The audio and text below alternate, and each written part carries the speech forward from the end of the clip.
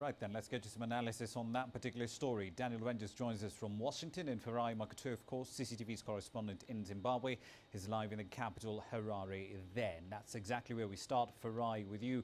What reaction has there been to the US position on not lifting sanctions on ZMDC? Well, I think there was no real expectation from the government that that would happen. They were under no illusions. But the stance of the government here remains the same, and that is these sanctions are illegal, they're hurting the economy, and they must go. Rama. Indeed. Uh, Daniel, coming over to you in Washington, the fact of the matter here really is that the EU has been moving way ahead of their transatlantic partners. Has there been any reaction in Washington to the EU's move to lift sanctions on ZMDC?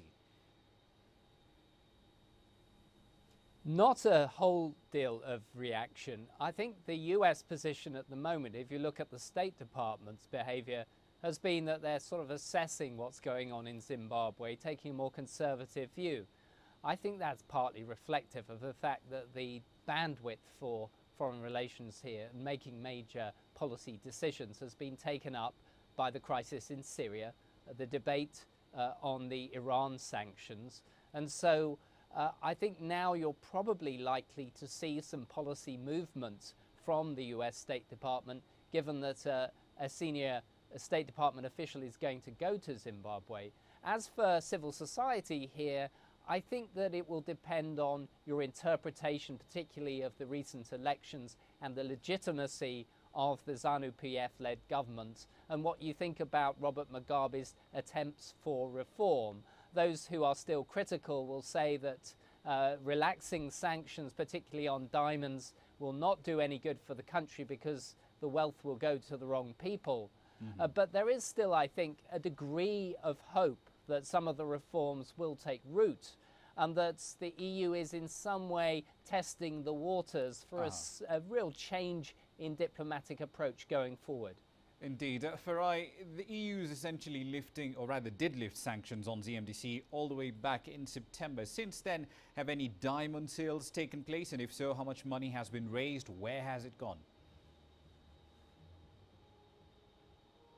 Not yet. Uh, there haven't been any diamond sales as yet, uh, and unlikely to, to, to happen within this year. An industry player I spoke to indicated that in the new year, definitely by June 30th, that may have happened. I think it's also important to note that there is need to work around the logistics of getting those diamonds to uh, uh markets in Europe and getting the money back to Zimbabwe. Those U.S. sanctions mean that whatever payments are destined to Zimbabwe are intercepted in the U.S. So that's one thing that they need, certainly need to work around. So at this point, no diamond sales as yet, but certainly in the new year. And we know that there have been, there have been buyers from Antwerp most recently and other European markets in the country expressing the demand that they have. There is an interest, but no sales as yet, Rama.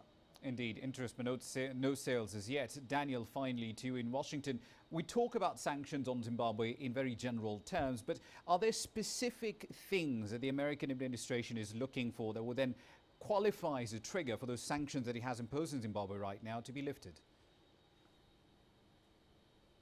Absolutely. There are 113 individuals and 70 entities that are sanctioned. I think they will be looking at some of those individuals to see if their behavior has changed. But certainly, I think there's a degree of skepticism in, in Washington, and they'll have to prove very strongly that the behavior and the way that the money is being handled, the transparency of diamonds and other natural resources is much better. I think then you'll start to see movement. But I think that this will be based on an evidence based basis, and they'll be starting to see what progress is being made during the visit that's expected uh, in early December. Back to you. Indeed. Thank you very much, gentlemen. Farai Makoto in Harare and Daniel Ryntjes in Washington. Thank you very much for your time this evening.